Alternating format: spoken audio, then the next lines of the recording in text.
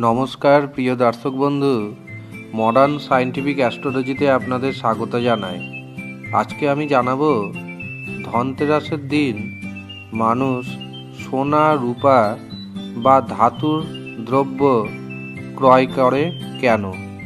এর পিছনে কি ইতিহাস রয়েছে?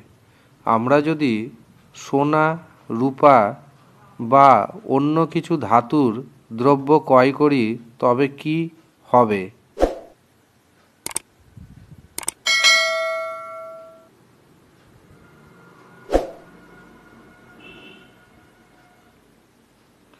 আসুন, আমরা জেনে নিই, ধনতেরাসের দিন মানুষ কেন সোনা, রূপার মতো ধাতব দ্রব্য ক্রয় করে থাকে এবং তার পাশাপাশি আমরা জেনে নেব, কীভাবে শুরু হলো ধনতেরাস উৎসব। আসুন তবে দেখে নিই ধনতেরাসের ইতিহাস যদি আমরা দেখি, তবে দেখতে পাব প্রাচীন যুগে রাজা হিম এর পুত্র এই ভাগ্য নিয়ে পৃথিবীতে আসেন যে, বিয়ের চতুর্থ দিন রাতে সাপের কামড়ে উনার মৃত্যু হবে।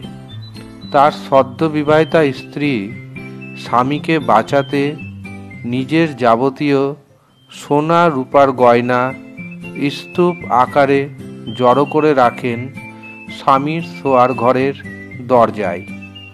এবং দরজায় ওই সমস্ত ঘর প্রদীপের আলো জ্বালিয়ে সাজিয়ে রাখেন সাপের পথ আটকাতে।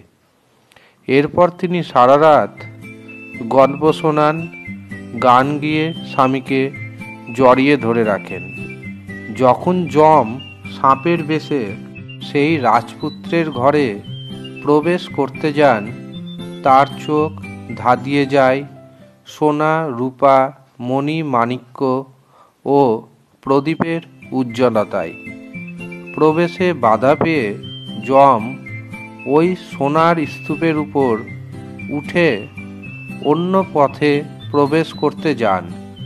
কিন্তু রাজারানীর গল্পে ক্রমশ আকৃষ্ট হয়ে সারা রাত সেখানেই কাটিয়ে পরের দিন ভোরের দিকে নিঃশব্দে বিদায় নেন জম যেহেতু সোনার অলঙ্কার নিশ্চিত মৃত্যুর হাত থেকে রাজকুমারকে বাঁচায়, তাই এই দিন ধন অর্থাৎ সম্পদের আরাধনা করা হয়।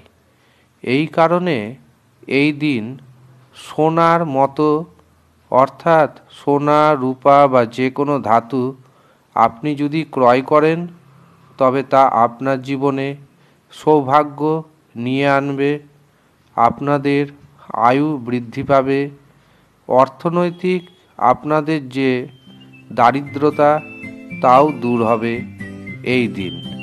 সেই কারণে ধনতেরাসের শুভ সময়ে এত ধাতব দ্রব্য কেনাকাটার হিড়িক পড়ে যায়।